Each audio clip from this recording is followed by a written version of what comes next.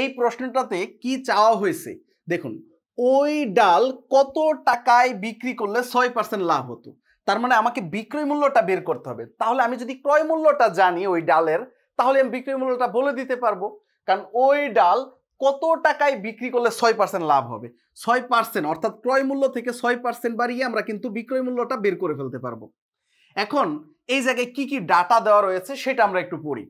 একজন দোকানদার কিছু ডাল এত টাকায় বিক্রি করায় পাঁচ পার্সেন্ট ক্ষতি হলো। এই যে এত টাকায় বিক্রি করায় পাঁচ পার্সেন্ট ক্ষতি হলো, তার মানে এখানে বিক্রয় মূল্য দেওয়া আছে, ক্রয় মূল্য দেওয়া নাই। আমরা এত টাকায় বিক্রি করায় পাঁচ পার্সেন্ট ক্ষতি হলো, তাহলে এই ক্ষতি থেকে আমরা এত টাকার বিক্রয় মূল্য থেকে ক্রয় মূল্যটা পেয়ে যাব। ওই ক্রয় মূল্য থেকে ওই ডালের বিক্রয় মূল্যটা বের করে ফেলতে পারব।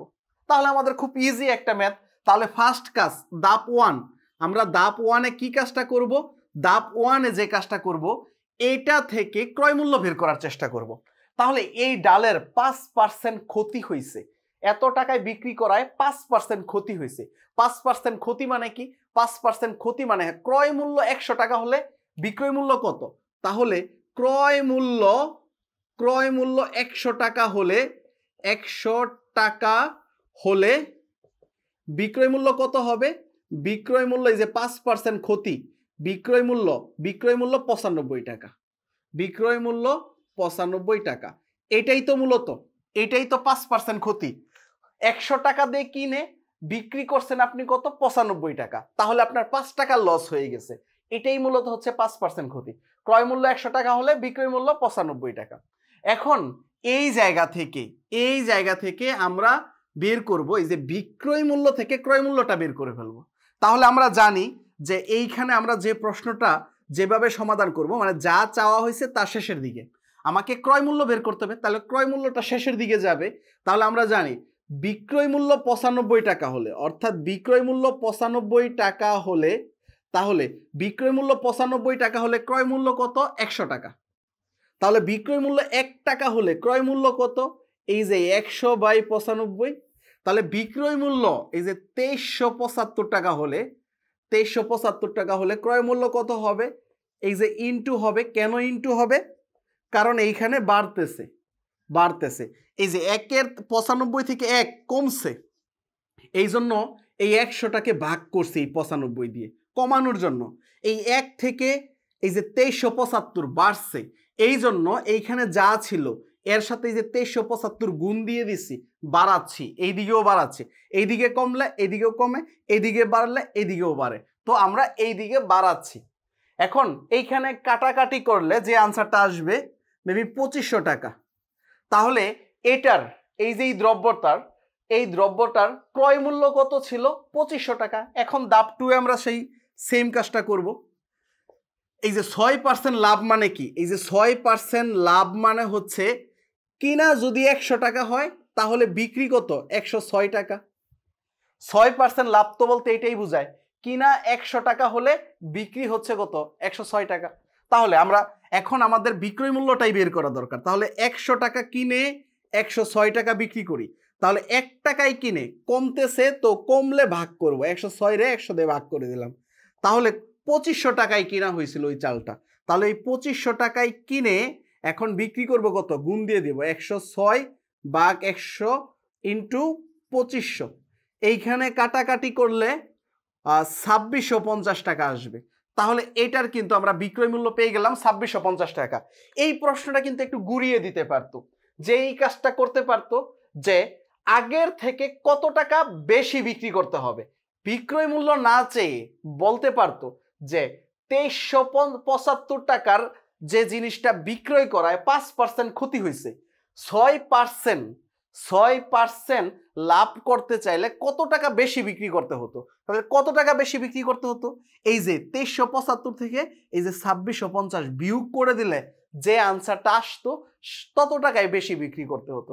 কারণ এত টাকায় বিক্রি করায় পাঁচ পার্সেন্ট ক্ষতি হয়েছে আর এত টাকায় বিক্রি করায় ছয় পার্সেন্ট লাভ হয়েছে এই প্রশ্নটা এই সেমভাবে থেকেও ডাটা চেঞ্জ করে দিতে পারতো।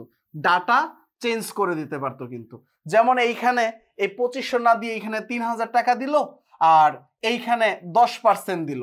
এইখানে টেন পার্সেন্ট দিল, আর ওইখানে হচ্ছে তিন হাজার দিল, তো এইখানে তিন হাজার, আর এইখানে পনেরো পার্সেন্ট দিল। এখন এটার আনসার কি করব? সেম কাজটাই, যে আমরা এইখানে দেখব কি চাইছে। চাইছে কি ওই ডাল কত টাকায় কত টাকায় বিক্রি করতে হবে? বিক্রয় মূল্য চাইছে। তাহলে পনেরো পার্সেন্ট লাভ করার হলে। তাহলে এই জায়গা থেকে আমার ক্রয় মূল্যটা বের করা দরকার।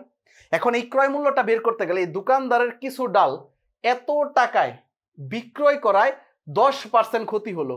তাহলে এত টাকায় বিক্রি করছে এবং দশ পার্সেন্ট ক্ষতি। এই জায়গা থেকে আমরা ক্রয় মূল্য বের করব। দশ পার্সেন্ট ক্ষতি মানে কি? দশ পার্সেন্ট ক্ষতি মানে হচ্ছে ক্রয় মূল্য। তার মানে এইটুকু প্রথম যদি আপনি করতে চান একদম ডিটেলসে তাহলে ধরে নেবেন। দড়ি ক্রয় মূল্য একশো টাকা। ক্রয় মূল্য একশো টাকা।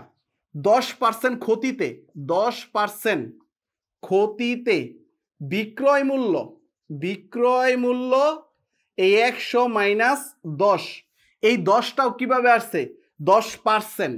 এই দশেরে একশো দিয়ে ভাগ করছি। এটাই দশ পার্সেন্ট। মানে এইভাবে, নর্মালি একটু চিন্তা করলে আমরা একটু যদি বুঝি যে দশ পার্সেন্ট বলতে কি বোঝায়? এই পার্সেন্টের পরিবর্তে আমরা কত বসাবো? ওয়ান বাই একশো। এই দশেরে ওয়ান বাই একশো দিয়ে গুণ দিব। এই দশেরে এই পার্সেন্ট যেহেতু গুণ আকারে আছে ওয়ান বাই একশো দিয়ে গুণ করব। তাহলে হচ্ছে দশ বাই একশো। তাহলে এখানে কাটাকাটি করলে ওয়ান বাই টেন আসতেছে। ওয়ান বাই টেন তো এই ওয়ান বাই টেন আমরা যদি এখন বিয়োগ করি, তাহলেই ওইখানে আসবে মূলত দশ টাকার মতন বিয়োগ করলে। তাহলে এখন ওইটাই বুঝতেছি যে দশ পার্সেন্ট ক্ষতি মানে কি? দশ টাকার লস দশ টাকা লস মানে কি? একশো টাকা থেকে দশ টাকা লস হয়ে যাবে। তাহলে এইখানে বিক্রয় মূল্যটা আমরা যদি বের করতে চাই, তাহলে সেটা আমরা কীভাবে বের করতে পারি? এইখানে এটা বিয়োগ করে দিয়েও বের করতে পারি বা এই যে একশো থেকে। একশো থেকে দশ টাকা মাইনাস করে দিতে পারি। তাহলে নব্বই টাকা।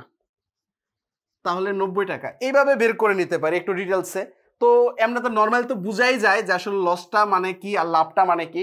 পনেরো পার্সেন্ট লাভ মানে একশো টাকাতে কিনে একশো পনেরো টাকা বিক্রি করব। তাহলে ওইটাই তো বোঝা যাচ্ছে। এখন দেখা যাচ্ছে এই দশ পার্সেন্ট ক্ষতিতে, তাহলে দশ পার্সেন্ট ক্ষতিতে বিক্রয় মূল্য এত, তাহলে আমাকে কি বের করতে হবে? ক্রয় মূল্য বের করতে হবে। এই ক্রয় মূল্যটা শেষের দিকে থাকবে। তাহলে বিক্রয় মূল্য কত? নব্বই টাকা হলে, বিক্রয় মূল্য নব্বই টাকা হলে ক্রয় মূল্য কত? একশো টাকা। বিক্রয় মূল্য এক টাকা হলে ক্রয় মূল্য কত? এই যে একশো ভাগের নব্বই, তাহলে বিক্রয় মূল্য কত? তিন হাজার টাকা হলে। এই ক্রয় মূল্যটা কত? ক্রয় মূল্যটা কত? তিন হাজার টাকা হলে ক্রয় মূল্যটা কত? তো এই যে একশো বাই নব্বই ইন্টু তিন হাজার। এইখানে কাটাকাটি করলে একটু বেশি আসবে, ধরে নিলাম আমরা বত্রিশশো টাকার মতন আসলো। এখানে কাটাকাটি করার পর। এখন এই বত্রিশশো টাকা কি? ওই ডালের ক্রয় মূল্য। এখন বিক্রি মূল্য বের করা যাবে, পনেরো পার্সেন্ট লাভ যেহেতু। কারণ হচ্ছে একশো টাকা দিয়ে কিনে কত বিক্রি করছে? একশো পনেরো টাকা। তাহলে এক টাকা দিয়ে কিনে এই যে একশো পনেরো বাঘ একশো। তাহলে ওই যে বত্রিশশো টাকা দিয়ে কিনে, বত্রিশশো টাকা দিয়ে কিনে এখনও একটু বেশি হবে। তো এই একশো ইন্টু বত্রিশশো। তো এইখানে কাটাকাটি করলে ধরলাম ছত্রিশশোর মতন আসলো। তাহলে এইটাই কিন্তু আনসার হবে। কাটাকাটিগুলো আপনারা নিজের নিজ দায়িত্ব করে নেবেন। আমি জাস্ট দ্রুত করার জন্যই ডিরেক্টলি একটা ভ্যালু বলে দেই। কিন্তু একজ্যাক্টলি কাটাকাটি করলে তার এটা আসবে না। ক্যালকুলেশন করলে অন্য একটা আসবে। দশমিকে আসুক নো প্রবলেম দশম, দশমিকে আসলে আপনারা দশমিকেই দিবেন। তারপর হচ্ছে এইভাবে মোটামুটি আপনি এই ধরনের প্রশ্নগুলো সমাধান করতে পারবেন।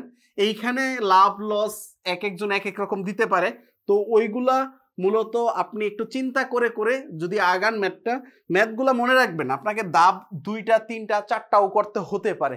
আপনি ঠিক ওই দাবগুলা ধীরে ধীরে আগাইতে থাকলে দেখবেন পাটিগণিত আপনার একদম ইজি হয়ে গেছে। আপনি যদি আমার পুরো প্লেলিস্টটা দেখেন তাহলে দেখবেন আপনার পাটিগণিতের আর কোনো প্রবলেম হচ্ছে না। আর একবার বুঝতে প্রবলেম হলে আরেকবার দেখবেন। তাহলে দেখবেন একদম ক্লিয়ার হয়ে গেছে। তাহলে পরের ভিডিওটি দেখার আমন্ত্রণ রইল। আল্লাহ হাফেজ।